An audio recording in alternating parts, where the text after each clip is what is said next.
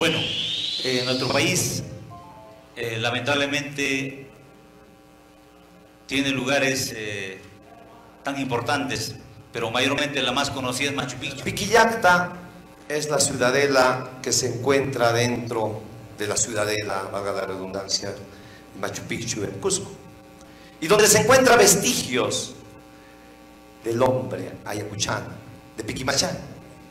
Momento oportuno para poder hacer un reclamo justo de que el hombre ayacuchano es netamente el hombre que marca la cultura y esas construcciones majestuosas que tiene Cusco nos pertenecen a los ayacuchanos.